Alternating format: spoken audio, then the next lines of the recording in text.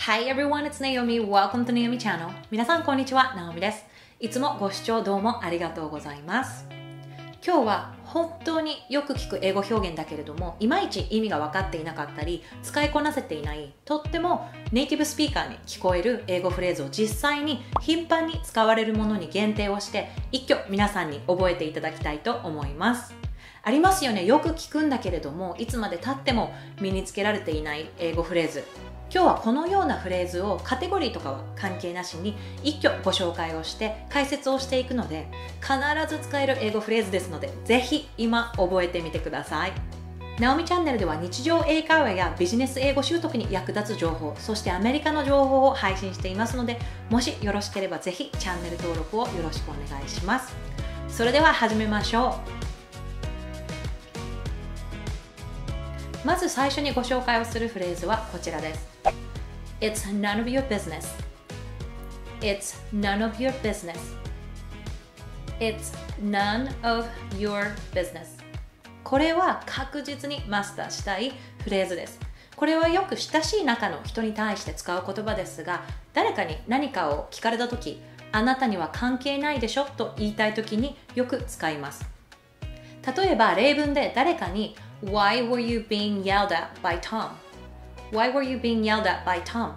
なんでさっきトムに怒鳴られていたのと聞かれた時にあなたには関係ないとか言いたくないという場合 It's none of your business というとかなりネイティブ感がアップしますもちろん普通に I don't want to talk about it などと言っても OK なのですが It's none of your business はネイティブにより近い英会話習得を目指す場合にぜひ知っていてほしいフレーズです。これは真剣に使うこともできるし親しい相手のみに緩く冗談的な感覚で使うこともできます。None という言葉の意味はないや一つもないというゼロを強調する意味でこのフレーズで使われている他の単語 business はビジネスではなくて事柄とか問題という意味として使われています。なのであなたには全く関係ないことよという意味です。この none of your business を none of my business というと自分には全く関係のないことだという意味でも使えます。ここで気をつけたいのは先ほども言ったようにこのフレーズを使う相手のほとんどの場合は気が知れた人に対してです。もしそうではない相手に使う場合は冗談っぽさをこうしっかりと出して言うことをおすすめします。そこまで親しくない相手に真剣に使うことは状況に状況によっては全然ありなんですけれども結構きつく聞こえる言葉だと言葉だということを理解した上でのご使用をおすすめします。それでは次のフレーズに行きましょう。It blows my mind. It blows my mind. とかこの過去形の It blew my mind. It blew my mind. このフレーズの意味はこれはもうものすごく驚いたとかびっくりしたとかまたは信じられないという意味でよく使われます。ちょっと詳しく説明をすると blow という単語はこう吹く風が吹くとかよく髪の毛をドライヤーで乾かすことをブローをすると言いますよね。My mind は意識なので意識が飛ぶくらいにびっくりした。頭がこう破裂するくらいびっくりした。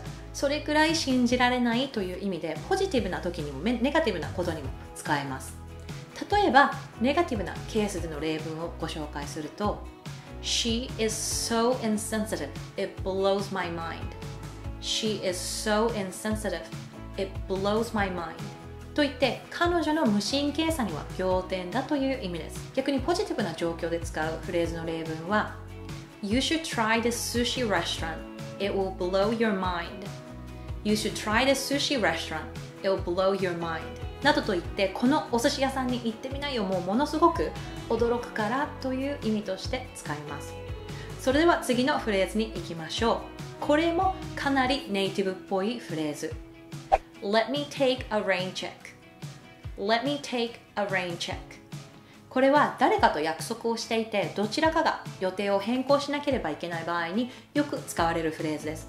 意味はまたの機会に今回ではなくてまたお願いしますという意味です。その次回のタイミングがいつかまだわからない時によく使われます。rain という単語は雨という意味なのでこのフレーズの由来は1880年に野球の試合でもし試合が中止になるくらい雨が降った場合はチケットを持っている観客には Rain Check というまた次の時に使えるチケットを渡されたことが始まりのようです。それでは次のフレーズは Don't beat yourself up. Don't beat yourself up. Don't beat yourself up. 何かに対して自分を責めてしまっている人を見かけたら Don't beat yourself up という言葉をかけてあげることがよくあります。この場合 beat up というのは何かを殴るとかボコボコにするという意味の英語表現なので beat oneself up というのは自分をボコボコにするボコボコにする。つまり自分をすごく責めるという意味です。よくありますよねこのような状況。何かに失敗をして自分を責めてしまっている人を見かけた時にこの言葉をかけてあげるとそんなに自分を責めないでというこう意味で慰めることができるのでぜひそのような状況があった場合は使ってみてください。そして次のフレーズは I got your back. I got your back. このフレーズは私はあなたの味方だよという意味です。back というのは背後とか後ろそして背中という意味があるのでこの場合は got your back. であなたの背後は私がカバーするよ。背後は自分で守れないのでつまり私はあなたの味方だよという意味となります。あなたの味方だよという意味の英語のフレーズでもう一つよく聞くのは I am on your side. I'm on your side. これは先ほどの後ろではなく今度は横隣。私はあなたの横についているという意味でつまり私はあなたの味方ですという意味でよく使います。例えば誰かにあなたはどっちの味方なの？誰の味方なの？という場合の例文は Whose side are you on? Whose side are you on? などと言ってよく喧嘩などのシーンでは使われることがあります。確実に使えるのでぜひ今日覚えてみてください。それでは次。よく何かをまた最初からやり直さなきゃいけなくなることってありますよね。その場合によく使われる英語フレーズは I have to start from scratch again とか I have to start over という英語のフレーズです。まず最初の I have to start from scratch again というフレーズの start from scratch はゼロから最初から始めるという意味で使用される言葉です。例えばパスタなんかをこう麺から練って作るなど最初から料理を作ったというような場合でも I made this pasta from scratch などと言ってこうゼロからこのパスタを作ったなどのようによく使われる表現です。この最初のフレーズの場合は I have to start from scratch again なのでまたゼロからやり直しだという意味です。仕事の場面でも私生活でもよく使えるフレーズです。その次の I have to start over というフレーズの場合は start over という英語表現そのものでもう一度やり直すという意味があります。なのでこの場合ももう一度最初からやり直さなければいけないという意味で本当によく使われます。もう一つ start over を使った他の例文をご紹介するとこうよく恋人ともう一度やり直そうよりを戻そうという場合に let's start over というともう一度最初からやり直そうという意味としてもよく使われます。いかがでしたでしょうか？聞いたことはよくあるけれどもよくこう意味や使い方がそこまでわからないということがよくあるとってもネイティブな日常英会話フレーズを今日はご紹介をしました。今後より自然なネイティブのような英会話を習得していく中でこのフレーズが身についていることは必須ですのでぜひこの機会に覚えてください。今後もこのような英語習得に役立つ情報やアメリカの情報をお届けしていきますのでぜひまた来週もご覧くださいそしてもしよければチャンネル登録もよろしくお願いいたしますそれでは皆さんまた来週 Thank you for watching my video. I will see you next week. Have a good one. Bye.